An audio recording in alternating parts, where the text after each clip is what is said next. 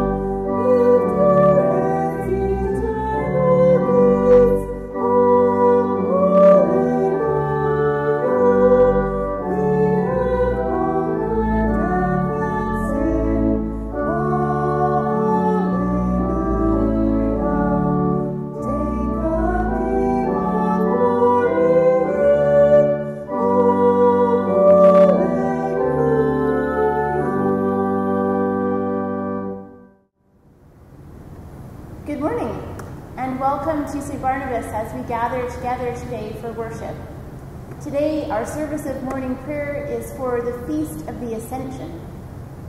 Let us begin. O Lord, open thou our lips, and our mouth shall proclaim your praise. In your resurrection, O Christ, let heaven and earth rejoice. Alleluia.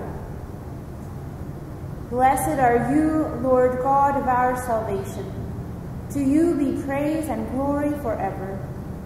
As once you ransomed your people from Egypt and led them to freedom in the promised land, so now you have delivered us from the dominion of darkness and brought us into the kingdom of your risen Son. May we, the first fruits of your new creation, rejoice in this new day you have made and praise you for your mighty acts. Blessed be God, Father, Son, and Holy Spirit. Blessed, be God forever. Amen.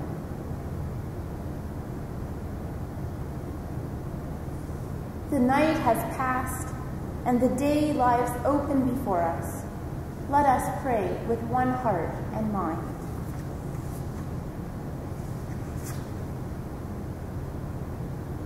As we rejoice in the gift of this new day, so may the light of your presence, O God, Set our hearts on fire with love for you, now and always. Amen. Amen.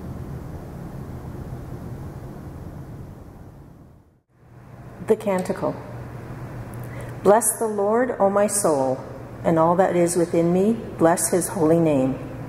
Bless the Lord, O my soul, and forget not all his benefits, who forgives all your sins and heals all your infirmities who redeems your life from the pit and crowns you with faithful love and compassion, who satisfies you with good things so that your youth is renewed like an eagle's. The Lord executes righteousness and judgment for all who are oppressed. He made his ways known to Moses and his works to the children of Israel. The Lord has established his throne in heaven, and his kingdom has dominion over all. Bless the Lord, you angels of his, you mighty ones who do his bidding and hearken to the voice of his word. Bless the Lord, all you his hosts you ministers of his who do his will. Bless the Lord, all you works of his, in all places of his dominion. Bless the Lord, O my soul. Glory to the Father, and to the Son, and to the Holy Spirit, as it was in the beginning, is now, and shall be forever. Amen.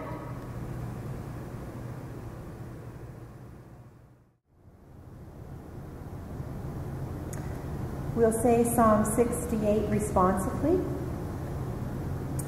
Let God arise, and let his enemies be scattered. Let those who hate him flee before him. Let them vanish like smoke when the wind drives it away. As the wax melts at the fire, so let the wicked perish at the presence of God. But let the righteous be glad and rejoice before God let them also be merry and joyful. Sing to God, sing praises to his name.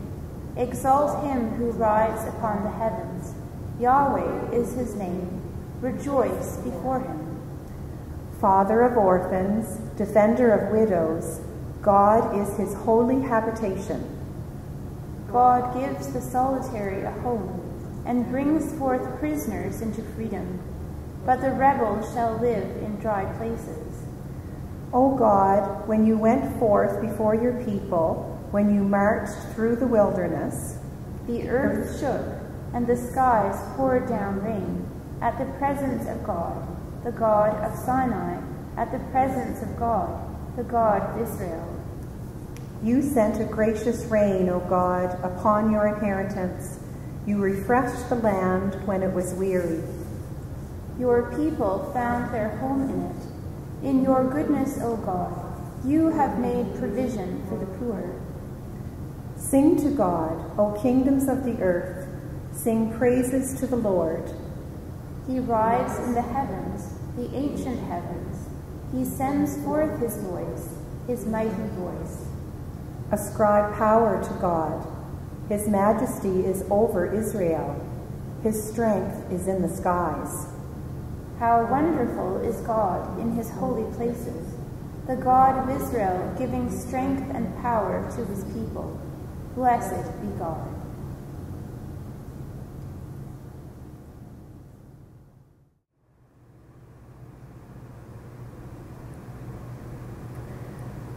The first reading is from the Acts of the Apostles. So when they had come together, the apostles asked Jesus, Lord, is this the time when you will restore the kingdom to Israel? He replied, It is not for you to know the times or periods that the Father has set by his own authority, but you will receive power when the Holy Spirit has come upon you, and you will be my witnesses in Jerusalem, in all Judea and Samaria, and to the ends of the earth. When he had said this, as they were watching, he was lifted up and a cloud took him out of their sight. While he was going, and they were gazing up toward heaven, suddenly two men in white robes stood by them. They said, Men of Galilee, why do you stand looking up toward heaven? This Jesus, who has been taken up from you into heaven, will come in the same way as you saw him go into heaven. Then they returned to Jerusalem from the mount called Olivet, which is near Jerusalem, a Sabbath day's journey away. When they had entered the city, they went to the room upstairs where they were staying Peter and John, and James and Andrew, Philip and Thomas, Bartholomew and Matthew, James, son, son of Alphaeus, and Simon the Zealot, and Judas, son of James. All these were constantly devoting themselves to prayer, together with certain women, including Mary, the mother of Jesus, as well as his brothers.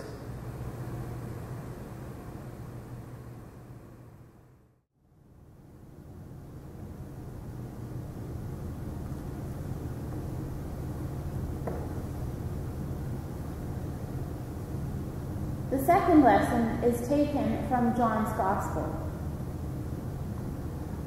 After Jesus had spoken these words, he looked up to heaven and said, Father, the hour has come. Glorify your Son, so that the Son may glorify you, since you have given him authority over all people, to give eternal life to all whom you have given him.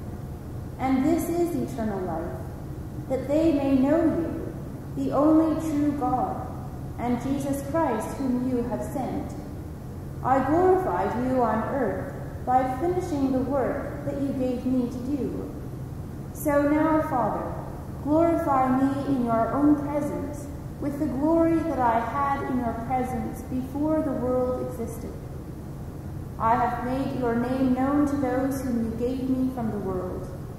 They were yours and you gave them to me, and they have kept your word. Now they know that everything you have given me is from you. For the words that you gave to me, I have given to them, and they have received them, and know in truth that I came from you, and they have believed that you sent me. I am asking on their behalf. I am not asking on behalf of the world, but on behalf of those whom you gave me, because they are yours. All mine are yours, and yours are mine, and I have been glorified in them. And now I am no longer in the world, but they are in the world, and I am coming to you. Holy Father, protect them in your name that you have given me, so that they may be one as we are. This is the word of the Lord. Thanks, be to God. I speak to you today in the name of the Father, and of the Son, and of the Holy Spirit. Amen. Today we're celebrating the Feast of the Ascension. We just heard Yuta read for us this story from the Acts of the Apostles. The Acts of the Apostles is the history book of the New Testament. And I have this old Bible uh, which has a very handy description at the beginning of each section, which talks about how each part of the Bible was written and the themes that uh, form part of it. And so I just want to read for you a little bit about what it says about the Acts of the Apostles. It says, The book of Acts continues the narrative of the gospel according to Luke by tracing the story of the Christian movement from the resurrection of Jesus to the time when the Apostle Paul was in Rome, proclaiming the gospel with all boldness and without hindrance. Now, we know that this book is written in the first century, and scholars debate whether it was as early as around the year 65 or perhaps as late as the year 80 and it talks about this purpose of the author's writing was to awaken faith by showing the progress of the good news, the way that it traveled and it expanded as it went to the Gentiles. It says another of the author's special interests was to show the activity of the Holy Spirit in the founding and development of the church. And it goes on to say, that the book of Acts might as well be entitled The Acts of the Holy Spirit as much as it is the Acts of the Apostles. It says it goes on because it also has an interest in depicting the time and the places and the people and the settings of the early church. And so I wanted to read that for you because perhaps in this time you have a little bit more free time and perhaps you might be interested in picking up a new spiritual practice. So I commend the book of Acts to you because over the next number of weeks we're going to be reading more portions of this particular book, and it is inspiring for us to hear about how those early members of the church um, went about living out their faith in times that were uncertain and in a place that wasn't always uh, hospitable to their message. So, getting back to the Feast of the Ascension, we have this very fascinating story where Jesus has been with his disciples for those 40 days, roughly, after the resurrection. We hear the stories of Jesus appearing to them in the upper room. He appears to some of the disciples on the road to Emmaus. Uh, he cooks breakfast for them at the edge of the lake. All of these incidents uh, show these disciples that Jesus can be trusted in what he tells them and what he has been teaching them. That in fact, he was raised and that he has this plan for the people of the world.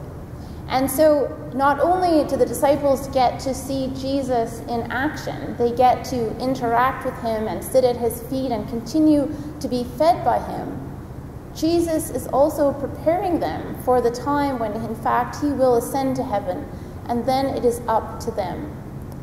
And Jesus says just before this particular part of the Acts of the Apostles, this particular passage, he speaks about this gift that will come to them, and that it will be the gift of the Holy Spirit, baptizing with water and with fire. And so we will be celebrating the gift of the Holy Spirit very soon on the day of Pentecost.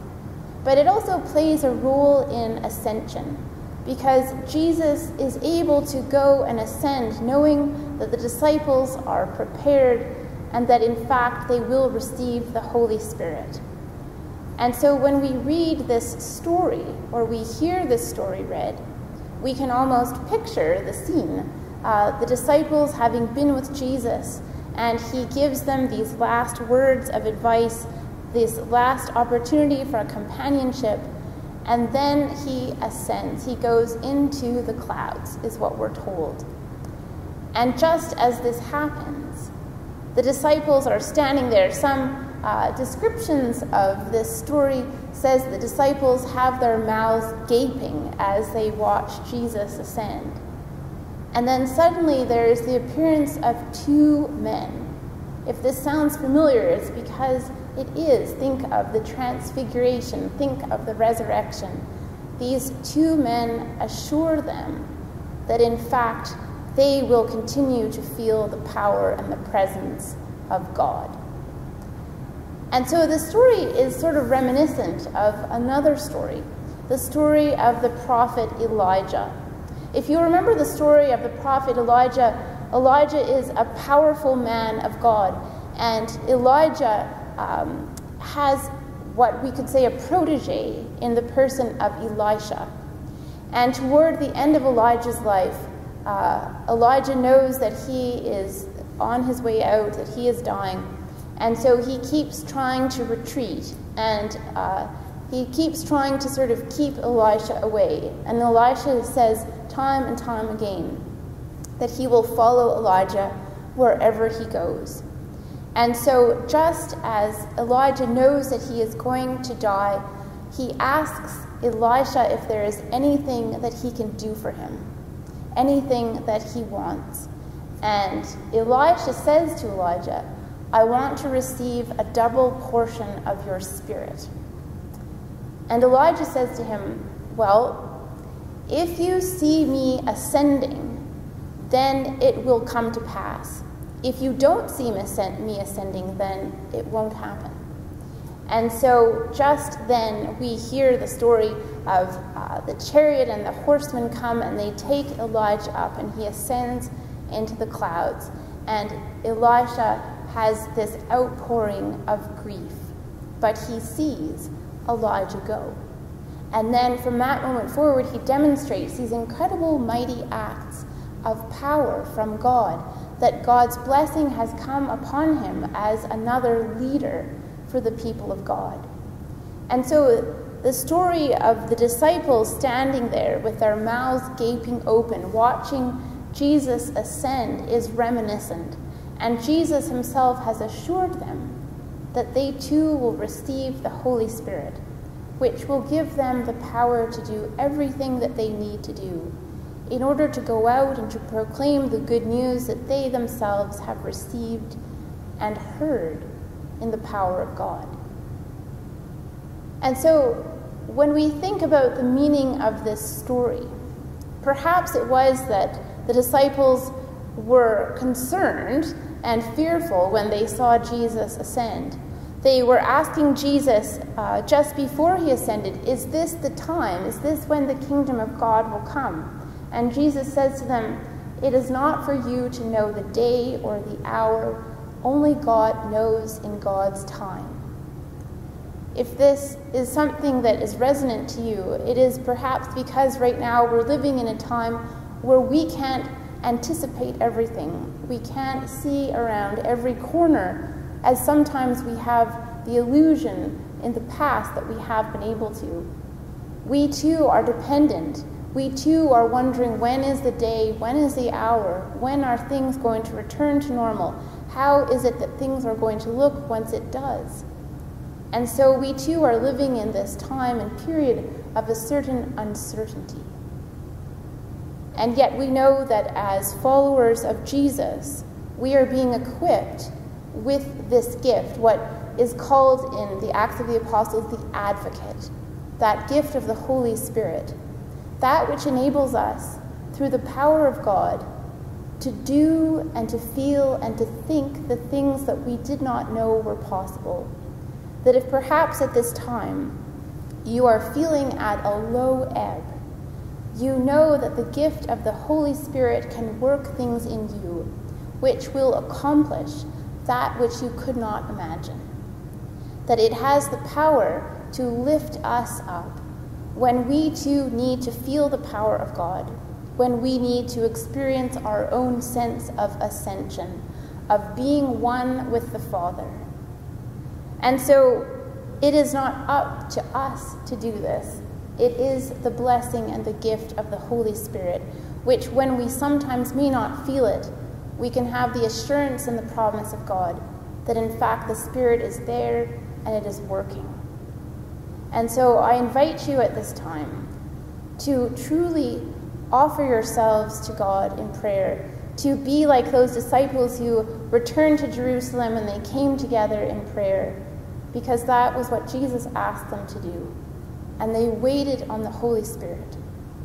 We'll see in the season of Pentecost, the Holy Spirit continues to work and act in the lives of men and women and children and people of all ages, that we too are continuing to look to God and to look beyond those clouds at what may be done and how we too may feel the presence of God in our midst. Amen. Let us stand and we'll say together the Apostles' Creed. I believe in God, the Father Almighty, creator of heaven and earth. I believe in Jesus Christ, his only Son, our Lord, who was conceived by the Holy Spirit, born of the Virgin Mary, suffered under Pontius Pilate, was crucified, died, and was buried he descended to the dead. On the third day he rose again. He ascended into heaven. He is seated at the right hand of the Father, and will come to judge the living and the dead. I believe in the Holy Spirit, the Holy Catholic Church, the communion of saints, the forgiveness of sins, the resurrection of the body, and the life everlasting. Amen.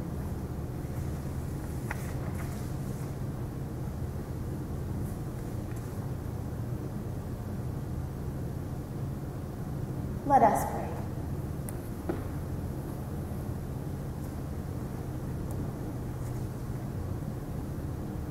Gracious God, fountain of all wisdom, we pray for Christians throughout the world as we seek to be a people inspired by the Easter message of grace and new life.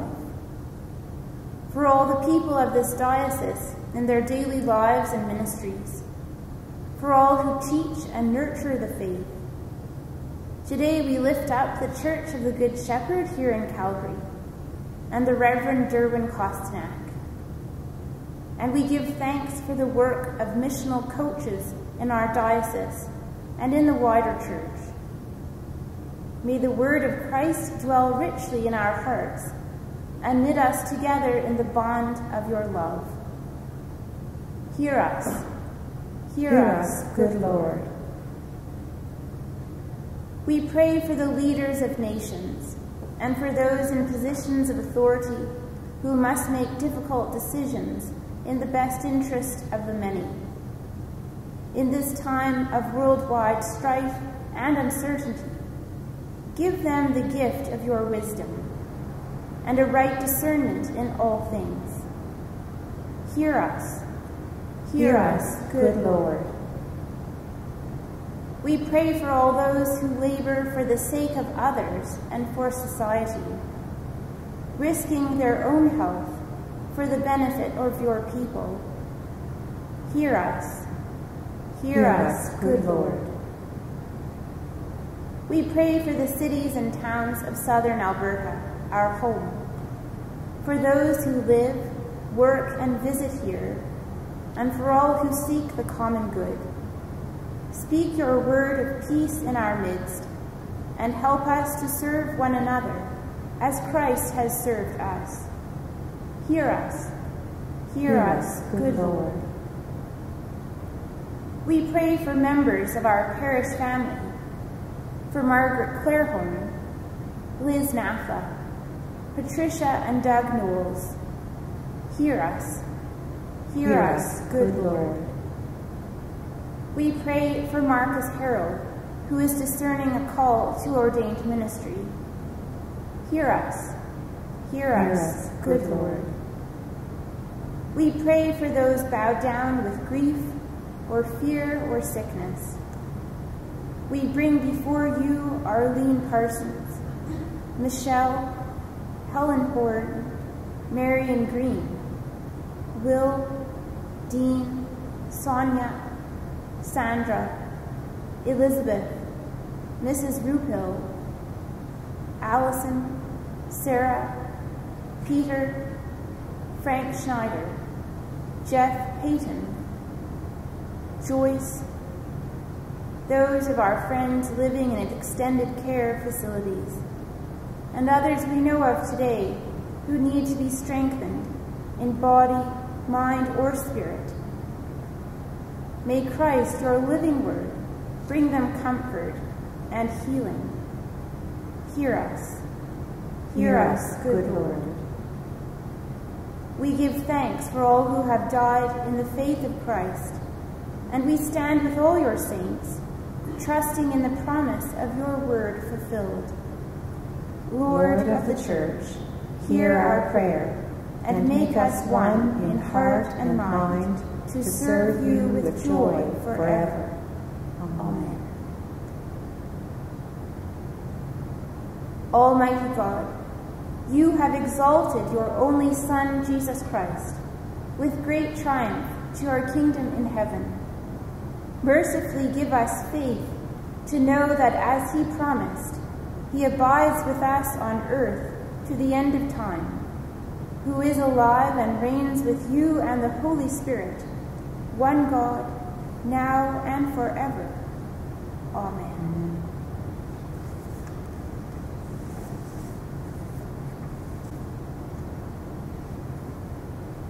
Rejoicing in God's creation, let us pray with confidence as our Savior has taught us. Our Father, who art in heaven, hallowed be thy name. Thy kingdom come, thy will be done on earth as it is in heaven. Give us this day our daily bread, and forgive us our trespasses, as we forgive those who trespass against us. And lead us not into temptation, but deliver us from evil. For thine is the kingdom, the power, and the glory, forever and ever. Amen.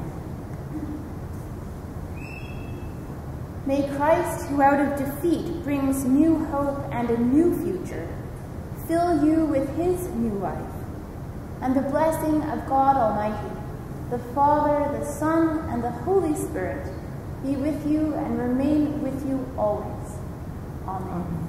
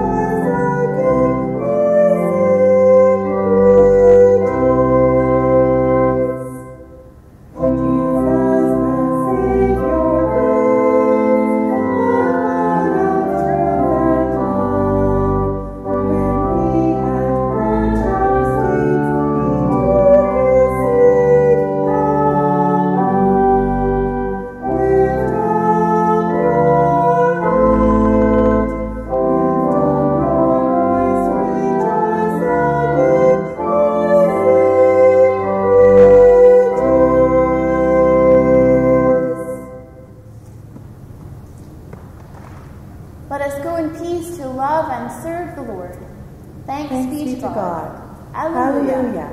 Hallelujah. Hallelujah.